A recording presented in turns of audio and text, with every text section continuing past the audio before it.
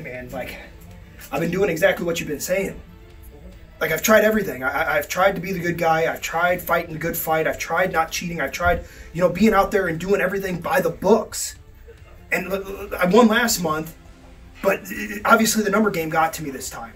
So I don't know what to do here anymore. Okay. Yeah, I get what you're saying. I get what you're saying.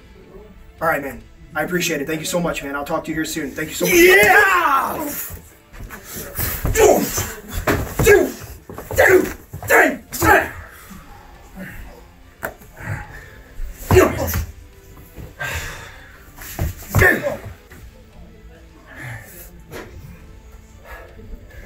We're sorry.